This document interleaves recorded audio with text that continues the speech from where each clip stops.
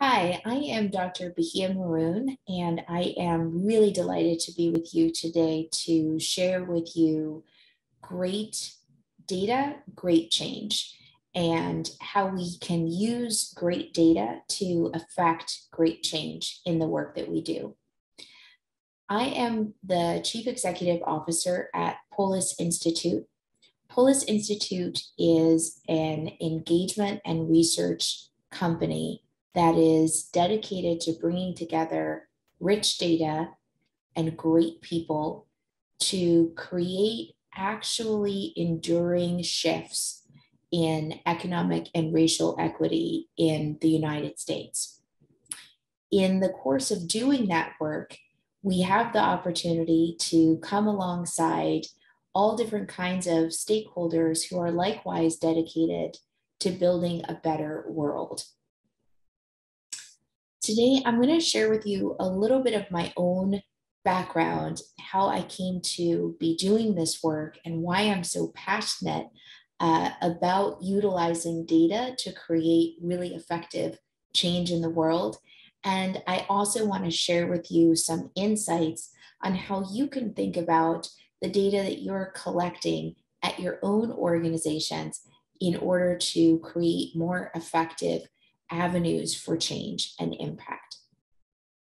So I grew up in the northeastern United States. I started off in a small city as a child, and then I moved to a really big city uh, as a teenager. It's safe to say that from infancy to around 25, I lived a life as a Black American woman that was marked by having a lack of access to resources and a lack of access to really healthy support systems. But what I didn't lack was access to opportunities. And when I was 16, I got an opportunity to go to a program at Harvard University. At that program, I was able to achieve these really wonderful outcomes in my grades. And the important part of that story is what made it possible for me at 16 as an inner city youth in the United States, as a Black child coming from a very under resourced public school education, what made it possible for me to seize that opportunity at Harvard and to make something extraordinary out of it? And I can tell you that a huge part of what made it possible is the after school programming that I was able to be part of. And because there were some really passionate and dedicated volunteers in my community, and there was a dedicated and passionate staff at a youth organization in my community, I was actually able to participate in ballet classes from the time that I was three years old uh, onward. And whereas in any other circumstances, those ballet classes would have cost quite a bit of money and they would have been out of reach for my family given our income. But because of the volunteers, I was able to go to those classes for free, and so were a number of other young girls in my community.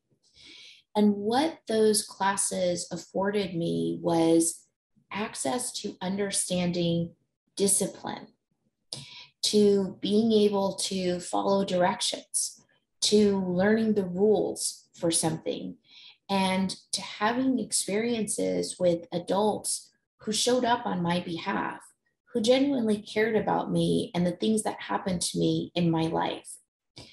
So it might seem like an indirect line from an after school ballet class to Harvard, but for me, I see a direct connection between that youth organizations um, drive to give us access to that kind of programming. And other youth were in the basketball program, other youth were in the computer program.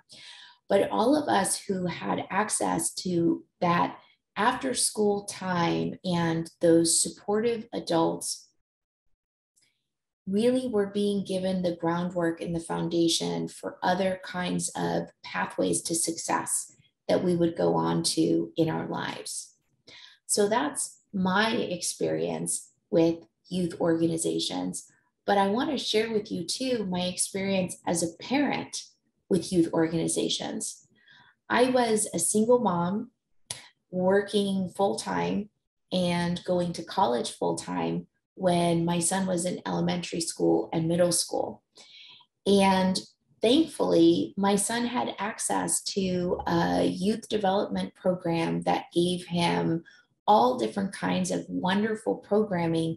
And most importantly, it gave me as a mom striving to create great opportunities for our household.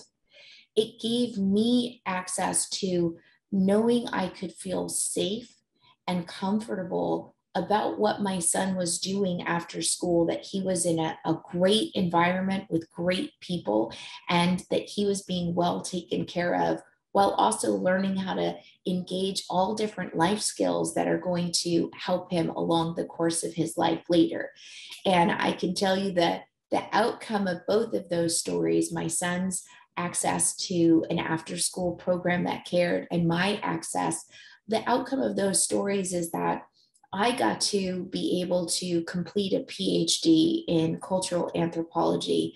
Um, my son, who is a bona fide adult now, uh, is a strong, secure, successful young man in his career.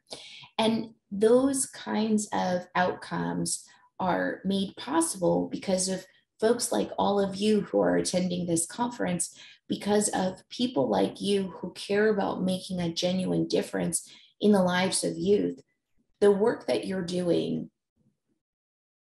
impacts the children who you serve, and it also impacts the families of those children. By learning how to make sure that at every step of the way, you are effectively gathering great data it's going to make it possible for you to take whatever impacts you're experiencing today and to exponentially amplify those impacts. I'm sure you've all heard uh, that saying, you know, if a tree falls in the forest and no one hears it, has it really fallen? And while we can ponder over those kinds of abstract questions, the reality for service programming is that if we don't measure what we're doing, we can't do what we're doing more effectively over time. If we don't measure what we're doing, we cannot know what areas of programming need to be dramatically improved, what areas of programming are incredibly successful and need to be expanded.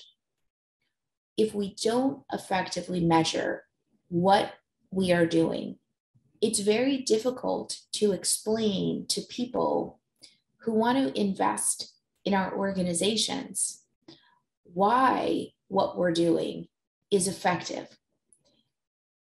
What I like to tell people is that almost all organizations that are doing great work in the world have really good, feel good stories. These are anecdotes we can share about the people that we serve and the communities that we care about.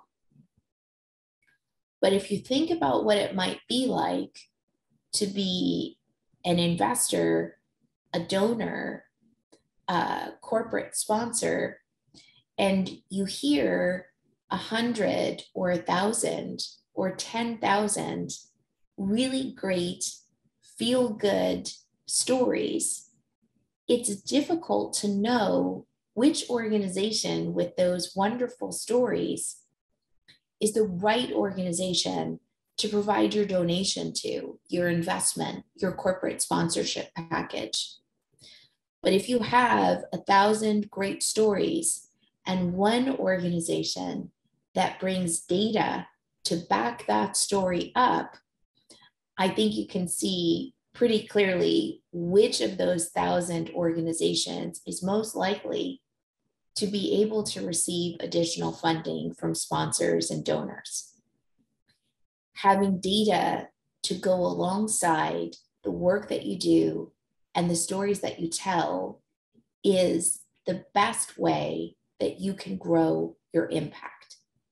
So, I want to give you a very simple way to remember how to stay on course with your data, and that is G triple O goals, objectives, outputs, and outcomes. G triple O. Your organizational goal is a statement that comes alongside your mission and puts it into clear, actionable terms.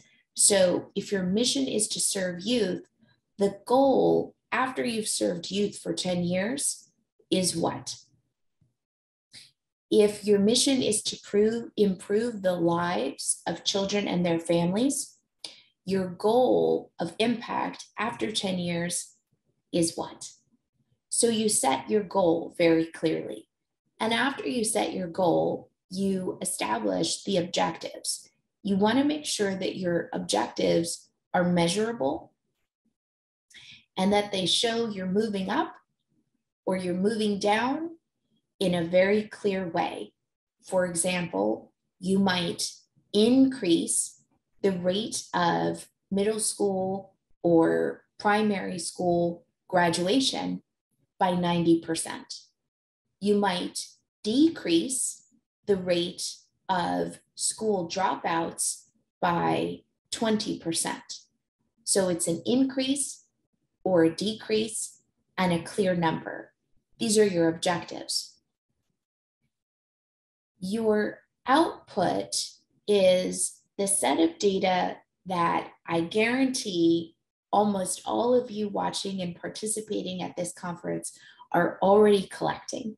Your outputs are those very essential pieces of data about who is attending and how often.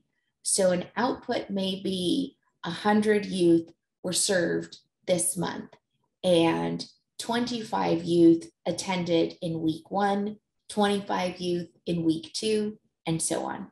An output is the clear and measurable quantitative data of what is happening because of what you're doing.